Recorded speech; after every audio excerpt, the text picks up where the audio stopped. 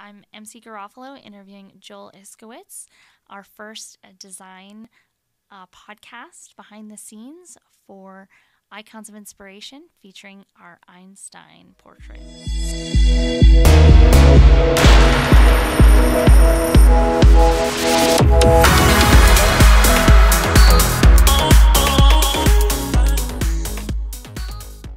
So, Joel, welcome. Thank you so much for joining us. We appreciate it. I appreciate being here. Nice to see you, MC. you as well. So, Joel, I'd love to hear more about uh, Einstein and, of course, what your inspiration was for choosing uh, Einstein as a a uh, individual uh, to showcase next in the Icons of Inspiration series. I, I guess my my first response to that um, would be to use a colloquial expression uh, choosing Einstein was uh, a no brainer. Um, many puns intended there, uh, because Einstein, of course, is, you know, probably the most uh, famous um, uh, incarnation of most people's images of a genius, of a divine genius. And actually, the more um, I, I uh, read about Einstein, and especially reading his own words and, and a lot of his quotes, uh, some of which were incredibly, uh, incredibly mystic and very humorous sometimes. Um, I got more deeply impressed by the um, the divinity of his genius, by the inspirational aspect of it. And there we go. We have our series Icons of Inspiration. Uh, so he was really um, kind of the supreme choice. Uh, in, in our modern world, especially. And uh, I'm old enough to have been alive uh, during his lifetime. Uh, and so we have wonderful photographs and, and wonderful references that bring him uh, very much to life as a character, as a, as, a, as a human being, which is one of the things I really wanted to emphasize in the portrait on the obverse. So, Joel, your portraiture is absolutely amazing. So, can you tell us a little bit about your process and kind of how you get started? Um, you know, we can reference Einstein or in general, uh, but would love to hear more about how you kind of get started. Sure, it's um, it's um, pretty much the same set of protocols in the beginning. Um, before lifting up a pencil, I um, I realized I have to do a deep dive into the research and really see if I could get to be familiar, um, you know, with the subject, especially when it's a personality and I'm going to be portraying a likeness. Um, and in the case of Albert Einstein, because he was so famous and because he was so, um, you know, wonderfully photographed, um, there and he was so famous that he could almost be um, turned into a, a, caricature of himself visually. I really try to focus on reading about uh, both his work and his life um, and his thoughts to help inform the portrait. So I had a better sense of him. And as I said before, the more I read MC, the more I got a deeper understanding of what a complex and very human character he was. And, and, um, and what I wanted to show in my portrait was uh, kind of a combination of his, his wisdom and his, his very human quality. Uh, his face exuded um, uh, a very um, empathetic and human uh, aspect. So I really looked at loads of photographs, which is what I always do. And I wind up technically what I do is I, I make a composite, um, which is a composite likeness based on, I don't know, hundreds of photographs I must have looked at. And um, again, try to marry that with my perception of the character of the individual. So, Joel, you know, I have the coin right here and I'm kind of just taking a look at it. You know, the eyes on Einstein are kind of my favorite because um, it just really brings out the emotional perspective of him as a human. What is kind of your favorite part or feature of uh, the portrait of Einstein on this coin? It's another another easy question. thanks, thanks, MC. Because with any portrait, you know, it's a cliche, but like most cliches, uh, they're often said over and over again because they they ring true. The cliche being the eyes, being the window of the soul, especially so. Um, well, it's true of everyone, but with Einstein having such a deep um, and penetrating and and uh, you know, um, um, for lack of a better word, uh, you know, human universalist soul. Um, I focused on his eyes. As a matter of fact, I thought that that would carry his likeness um, uh, and our understanding of him um, away from the cliches of the white mustache and the shock of of uh, white hair, which are wonderful visually. I mean, there are some photographs of Einstein that that are, are quite uh, astonishing uh, when you look at um, you know his aspect, what he looked like, and as I said earlier on, he became kind of the cliche image of the of the great genius. I love it.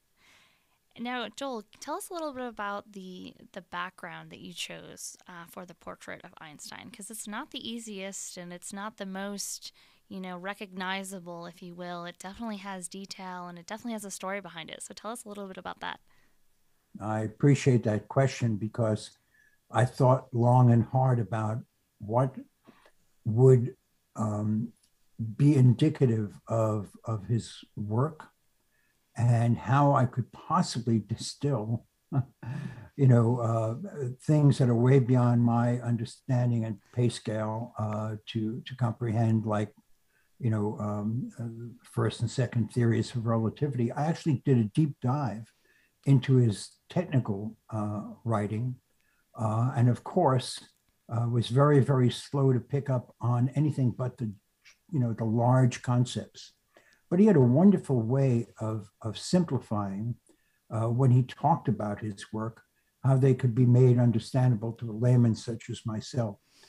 So, one of the main uh, contributions um, that he made, and there were many, to our understanding of the universe was relativity.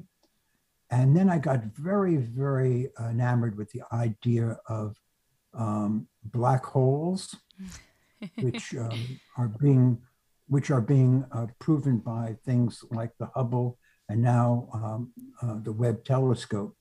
Uh, a lot of his theories are being proven um, uh, to be quite real in what we understand as the physical universe.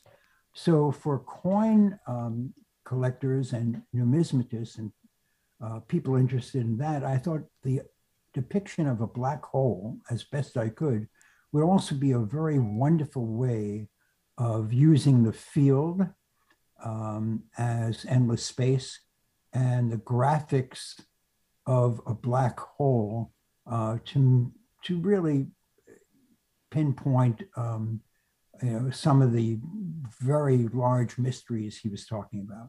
And I thought it would it would look good on a coin and um, and be organic. It would it would actually speak to his work.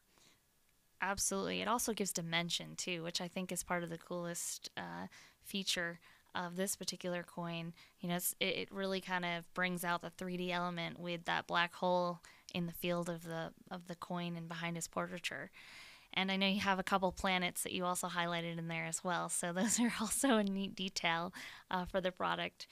And Joel, you know, moving on to the the um, you know the reverse, if you will, let's talk about this muse that you designed and that's been utilized, you know, several times now as the reverse of our uh, Icons of Inspiration series. Well, um, that was a wonderful, a wonderful opportunity for me to create uh, a common, a common uh,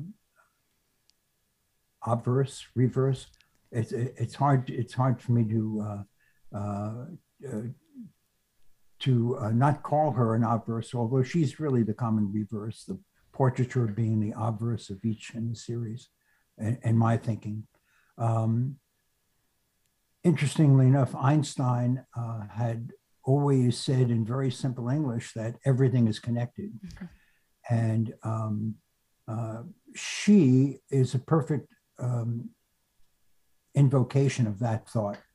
Uh, if you look at her closely, uh, she's uh, reaching up to a series of stars that encircle the border, mm-hmm. but she's actually um, she's actually um, uh, taking a star and uh, and uh, offering it. it's a gesture to me that I interpret as um, we are all connected. And uh, Shakespeare said, we're the stuff that stars are made of. Mm-hmm. So I named her Astra, uh, the goddess of, of the stars. Uh, and um, uh, she basically is symbolic of, of uh, the connection of all of uh, life as we know it. And not only life here on planet Earth, but um, but the the celestial life that uh, is still remains and probably always will remain a mystery. I love it. Her beautiful flowing hair and the intricacy of her her face, and it's kind of got like a side profile, um, just beautifully done. And I absolutely love the uh, details on her dress. Um, you know, the flowing fabric, it just looks like it's in the wind actually blowing and moving. So it's... I appreciate that. I, I, I, just want to parenthetically insert in terms of design and artwork, um, how much I uh, very, very intentionally tried to create a, a classic figure of great beauty. Uh, of course, you know, when I attempt such a thing, I look at the lineage and my, my antecedents like Weinman and, and uh, St. Gaudens um, putting a goddess on a coin. So I want to have that lineage fulfilled and continued, but it's um, it's important to me that people realize that it's it's not classic in the sense that it's um, related to any particular school of art or any age in art history. To me, classic means um, timeless, that it could be appreciated uh, if it is beautiful, and I think she's beautiful. Oh, absolutely. Um, could be appreciated by people who are not particularly knowledgeable about numismatics or art or history for that matter, or from someone from a completely different culture. If it's classic, then it could be appreciated, I think, um, universally as beautiful and uh, does not exist in time. So Einstein was right. Because he said that uh, time is an absolute illusion. So hopefully she's timeless. she is. She's gorgeous. Like I said, uh, definitely appreciate um, all of the the craftsmanship as well. And I'd love to talk on that um, a little bit about the process and what that kind of looks like from your end, Joel, as far as getting started. You know, before we even get to this amazing final product, what's your process uh, to kind of get started uh, after research? You know, how do you how do you dive into the design work? And you know is that really the the best part or what's kind of your favorite? You know it's interesting uh, probably they're all favorite parts in their own way. Probably the most labor intensive is when i start you know ideating and researching. That's this step two immediately after step number one which is tearing my hair out wondering how i'm going to get it done but then there was the research and the question of uh, Astra on the back, our, our common reverse, our goddess of creativity and inspiration. Um, uh, I hire a model um, so that I could um, create a new version. I look at a lot of uh, a lot of uh, art historical artifacts, and I do again um, a combination, uh, a blending, uh, a, trying to mate the modern and the contemporary with the classic. And so the basic process is taking photographs in the studio, drawing from the model, and then uh, really it's a process of assembling of uh, a kind of a montage of kind of building up the reality. And I'll refer to our, our honoree Albert Einstein, who uh, kind of famously said, you know, the logical process that we think we follow has very little to do with creativity. creativity happens kind of by itself without us trying to. We don't know where it comes from. It just kind of hits us. It's not magic, and you don't have to not work for it. You have to work very hard. But when it all coalesces. It coalesces, it seems, you know, um, by putting all the forces in play. And then after a while, very often, they gel and you, you get something that you're, you're proud of. Yeah. So, Joel, how many hours would you say you spend, as an example, on you know the Einstein illustration? Because the the level of detail and the decision making, what does that look like from your side? Is that something that you know is, is a long, long time, or do you kind of get just inspirational spurts and you're like, okay, I got it? Like, how, what does that kind of look like from your side of the both of those are true mc and and and they're filled with pitfalls. When i get excited in the beginning it all comes to me and i i, I get a kind of a, an image of what i want to do. And then the devil in the details the complications of how do we ch- achieve that and then i have to go through that whole process of distilling all the research and very often it takes a different a different uh, a different tack I go down, you know, different uh, black holes, if you will, or rabbit holes. and at the end, at the end, it, it it seems to come, it comes around. Usually when I run out of time, and and and time, um, to be more specific, each and every one is different, and they always take more time toward the end. Of course, because that's when when you're really uh, dealing and grappling with uh, the you know the refinements. Mm-hmm absolutely. So, Joel, you know, from from kind of start to finish, do you utilize what kind of uh, mediums do you usually draw these in? Is it chalk? Is it charcoal? Pencil? What's kind of your favorite uh, tool to really get started? I am uh, a very simple person when it comes to uh, a technique. In that sense, I use uh, a number of different weight uh, pencils from hard to soft to get uh, a different quality in the line uh, to help describe to help describe the imagery. So it's the simple answer to that is pencil. Pencil. Uh, for my designs for coins. And then what I do is I'm an old etcher. uh, so I use my printing press, uh, my printing press, I use my printer as an etching press meaning I do my first drafts, I scan them in, and then I bring them into uh, software like Photoshop, and I rearrange and and and tinker with them, and then print them out again and uh, that and draw into it with pencil. That's my process. So I, for let's say the portrait of Einstein, there might be ten or eleven different iterations of that drawing of just his face alone. Um, uh, which are very similar to the way an etcher would work on states uh, on a okay. plate. You take prints and make proofs, and you see what you want to do and what you want to correct, and then you do that, and you take more and more uh, proofs. So I do that 10 or 11 uh, rounds uh, for any given image. Oh my gosh that's a lot of work you know and then you get this final beautiful amazing product that just looks awesome um, how many revisions did you do on his hair? I have to ask because his hair is flowing. oh, that's a that's a great question because on coinage, you know, you have to have uh, if things are going to be minted properly.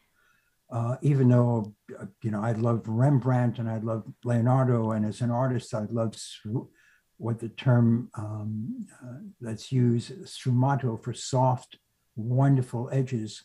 Uh, but with coins, you have to have a clear edge to separate uh, each device on the field from uh, what's next to it or from the field itself. So Einstein's hair, which is you know uh, totally unbelievable and wonderful to draw and paint, and I've done paintings of Einstein. There's one down in NASA that I did um, uh, where I went crazy with his with his white hair and actually blended it into the the cosmic matter of uh, of the background. Can't quite do that on a coin you have to be more specific. So mm-hmm. um, uh, I tried to get that that shock, that beautiful shock of his white hair, and yet if you look very closely on the coin, each edge is very clearly defined. Oh, absolutely. Yep. That way, striking process. Correct me if I'm wrong. Right. During absolutely. Yep. Production, of people at Nine Fine Mint would would uh, come back at me and say "Eh, we can't do this if I if I gave a, a soft edge. Yeah. Although we're getting better and better at at uh, creating illusions for those kinds of transitions. Absolutely, absolutely. And you kind of have his uh, his hands nicely folded on top of one another, so it, it just kind of really looks. I mean, he looks relaxed and and happy, and this is very very similar to what we see, um, you know, across what Einstein is remembered as in a lot of his uh, portraitures, uh, you know, in in photographs and whatnot as well. So. Um, definitely, the hair is my, kind of my favorite as well. I really appreciate that so much, MC, that you mentioned the hands because uh, the hands are uh, clasped in a kind of a thoughtful position. And again, the more I try to understand about his work, of course, the less I understood technically, but the more I got this, the, the, the sense of what a thoughtful man he was. And what a, again, what a human man he was, filled with a sense of irony and, and, and real humor. So those hands are an important aspect in that portrait. I think they speak a lot. He looks very composed, very, very uh, relaxed, and like I said, happy as well. So that's always a nice touch when it comes to coinage. So, Joel, tell me a little bit about, you know, overall, how long have you been designing coins and how many coins have you designed throughout your, your career so far? You, you know, uh, in terms of numbers, I'm happy to say, MC, I've actually lost count. That's always Uh, a good thing.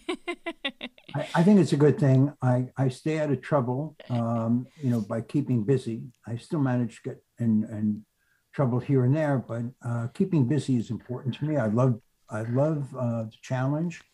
I love the connection uh, to to the field. I love the connection to coinage and numismatics. I love the connection to art and history.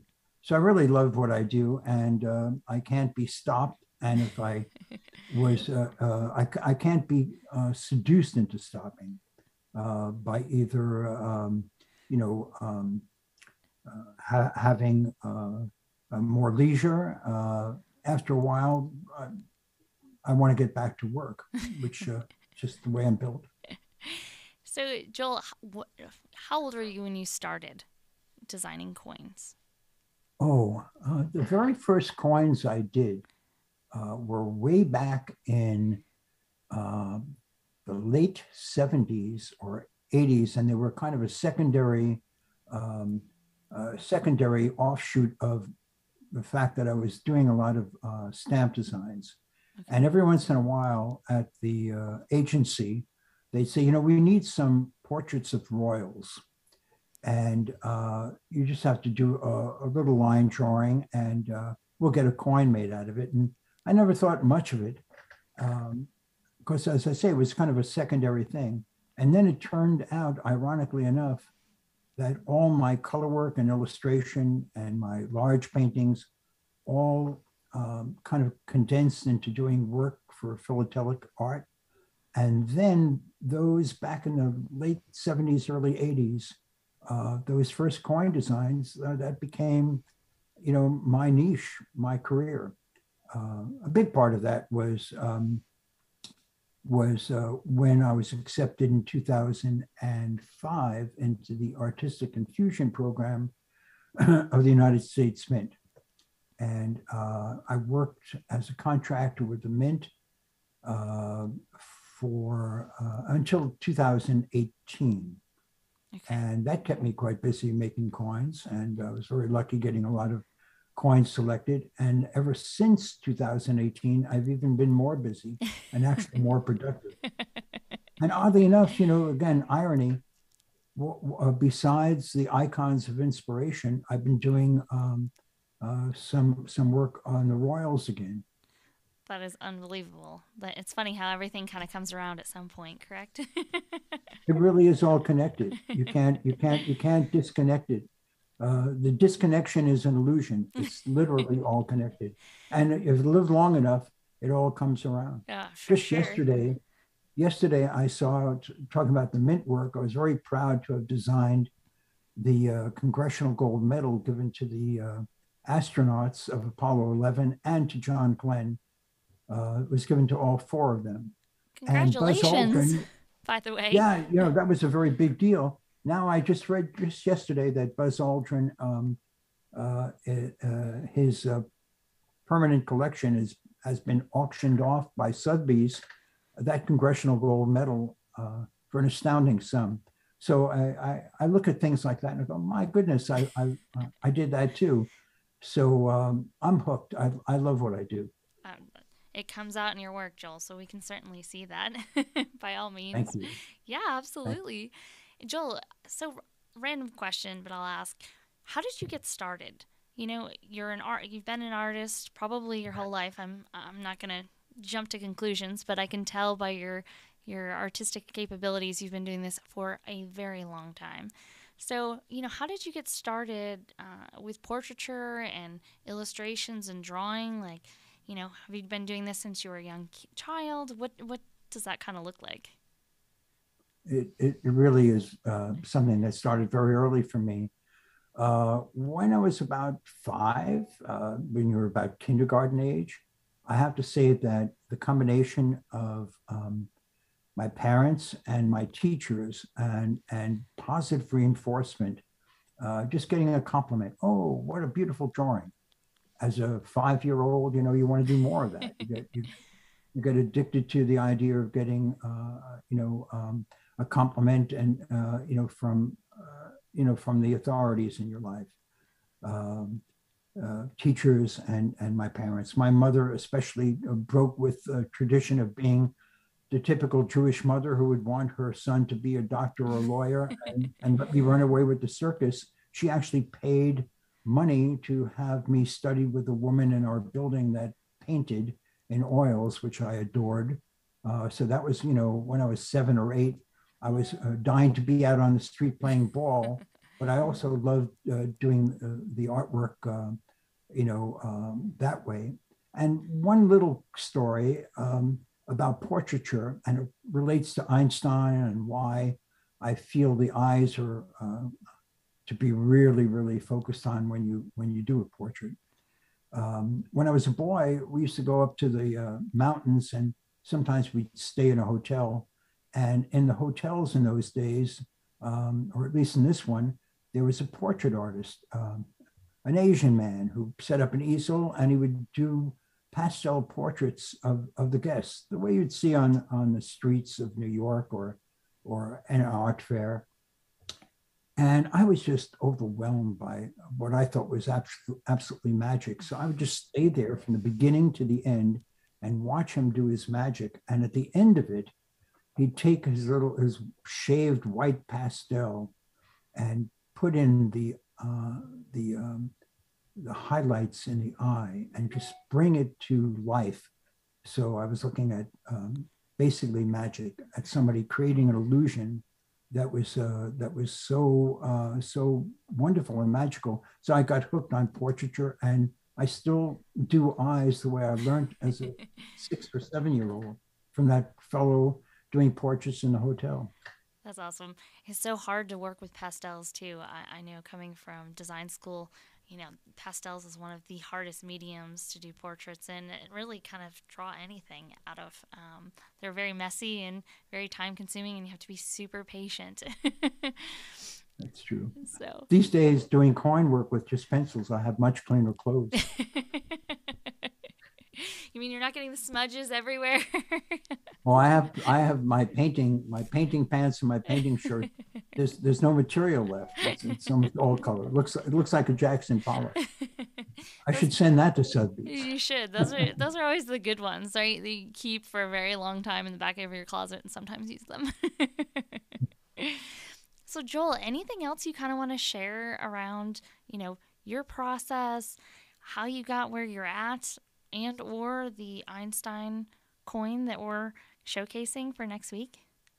Well, to sum up, since I I, uh, I must admit I didn't go back uh, in preparation for our interview and and and uh, I didn't read Einstein's theories of relativity and try to you know uh, extract some wisdom, but I, I'll leave you with a couple of quotes that I just love and I think really show um, uh, you know, what a, a, a, deep, profound, and lovely uh, human being uh, Albert Einstein was, what a perceptive one, and perceptive about himself as well.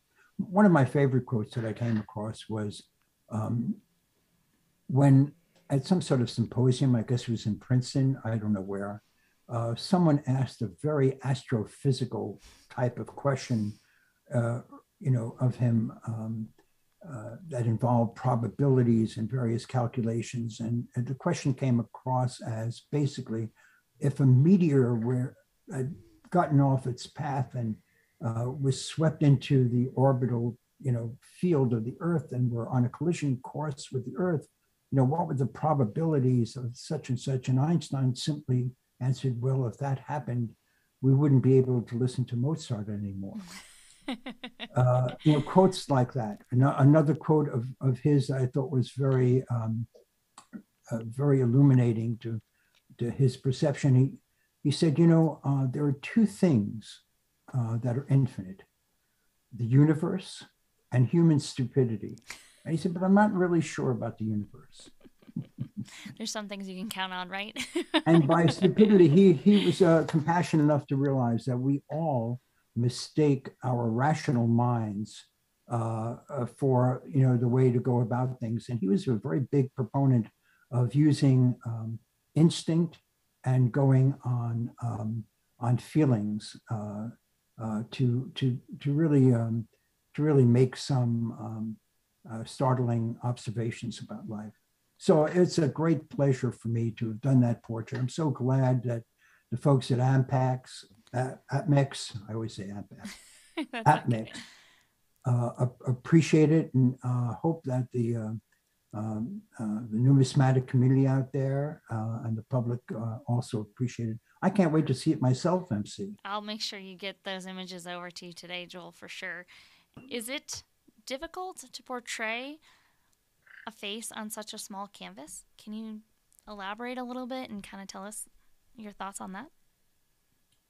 In a word, MC, very.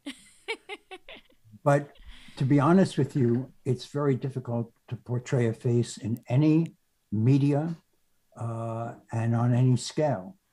But the challenges of, of um, distilling um, the complexity of a human face uh, and and doing it accurately and and um, hopefully beautifully on such a small canvas as a coin is, is it is especially challenging. It's one that I relish though, because um, I, I, really do feel that the more restrictive um, uh, the the format, like a small coin, uh, it it forces me to be um, um, my heightened editorial self and take a great deal of information and uh, see if I could distill what's you know most telling, what's most important. So yes, it's very difficult to do, but it's a wonderful exercise. And the other part of that is, I my theory uh, is that the scale of any art is immaterial to um, the ability to tell a story uh, through design. I've done murals. Uh, I, I, did some work for uh, the Air Force and NASA that was, uh, you know, large, uh, huge, you know, many feet wide and uh, high murals. And they have to be designed so that they could be turned into a postage stamp. they have to be designed so that they could be read simply and clearly, even though they're large. So the converse is true too with a coin. It's got to read clearly as a small entity. Um, and yet, um, if you do it right, you could look at it again and again and see more complexity. So, yeah, it's really difficult, but um, somebody's got to do it. so that leads me, I'm going to add on to that. How big or how small do you work then when it comes to these particular pieces. So, are you working on an 8.5 by 11 type of canvas, uh, 8 by 8, and then scaling it down, or do you kind of scale up your artwork? What does that look like? My drawing paper, when I take my pencil and I, I, I go over to my drawing board and draw, Uh, for figures, I tend to use um, uh, pages that are like for Astra on the common reverse. She's a nice uh, 18, 20 inch high piece of paper, good 11 inches wide. Okay. For smaller elements, which I do separately and then add them, I'll use, uh, you know, a legal or even a letter size, eight by 10 Okay. page. Uh, and then, um, you know, I work for um, a basic circumference in the round of nine to 10 inches, eight to 10 inches.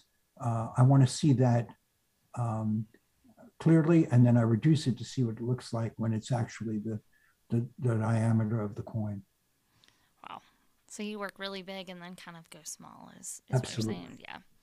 Got it. Absolutely. because you you don't lose those details. We've we've kind of taken a look at the illustration, your original, and then compared it to the coin, and it looks identical. So capturing all those features when you go from very large to very small uh, is pretty impressive. that impressive part impresses me the, the fact that you could take all the details. There are mints i've worked for uh, where uh, there were complaints that you know i was putting in too much detail but in reality the technology and the technicians have been catching up. And you see many more coins uh, with uh, better quality relief much finer detail and uh, so it's on you, the, the, folks at Nine Fine Mint. It's on Emerson. Uh, hats off to Emerson for making bas reliefs that in, interpret um, uh, my details pretty accurately, uh, quite accurately. And again, the production at the at the Mint um, is is where I'm taking my hat off to see that those details are not lost uh, under under the strictures of all all those concerns yeah, absolutely. Those, uh, there's yeah. there's a lot of manufacturing uh, constraints and things that you have to think about um, when not only designing, I'm sure, but also when we go into production to make sure that we hit those qualities and those standards um, when it comes to execution and lives up to our customer standards and, and really the industry standards uh, for collectibles and numismatics. So, and so far with the icons of inspiration, I've been so pleased with the uh, the minted results so it really is a teamwork effort. Mm-hmm. You know, I'm trying to design with the end uh, with the end difficulties of minting. Uh, you know, this under pressure. You know, uh, hot metal being you know struck under pressure. I have to do my job and take that into consideration. And at the end, um, uh, Nine Fine Mint has been coming up with uh, unbelievable, um, unbelievably high quality coins. Uh, so uh, I think we're all pretty happy. Absolutely. Couldn't do it without all the different facets uh, and cross functional teams uh, that kind of go into making this a reality and really bringing the coin to fruition. So, well, thank you so much, Joel, for you know joining us today. Really appreciate it uh, and being our, our first uh, guest and uh, showcasing you know a little bit behind the scenes and what goes into the design work of these products. So, thank you so much. It's it's really been a true pleasure, MC. Thanks so much for the opportunity. Absolutely. Just trust me. I hope uh, this is beautiful. So um, it came out fantastic, and I'll, I'll, get those over to you today for sure. Um, but uh, but yeah, Einstein just looks amazing. We're super excited for this next release.